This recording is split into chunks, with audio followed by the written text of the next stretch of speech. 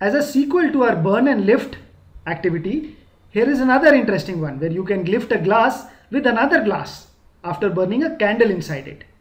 You just need two glasses, candle and some toilet paper. First take the toilet paper, make a couple of layers and then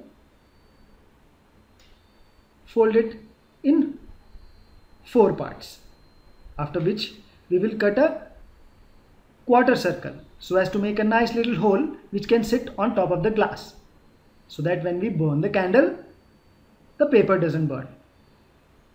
And it can send the heat up above in the glass on top. Place this toilet paper on top of the glass after putting the candle inside. We will wet the toilet paper a little bit. Dip the other glass in water and put it on top.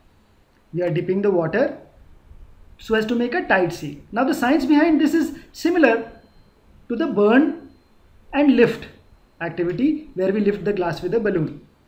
When the air contracts due to lower temperature it creates a partial vacuum as it occupies lower volume.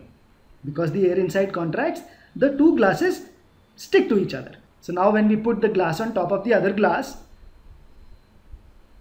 there is a perfect seal and hence the candle extinguishes because of lack of oxygen after a while. Now if you wait for a while and you lift, you can lift the glass. This is magic because of gas laws. When the temperature of the gases inside the glass reduces, their volume also reduces or they contract which creates a partial vacuum and hence the two glasses stick to each other.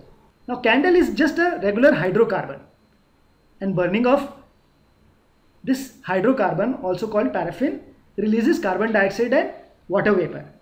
Contrary to popular belief, the amount of oxygen burnt releases more amount of other gases which is carbon dioxide and water vapor. Hence, the lack of oxygen does not contribute as much to lowering of the volume of the gas inside and that is not the reason for lifting of the glass. Instead, contracting of the gases due to lower temperature leads to the glasses sticking together.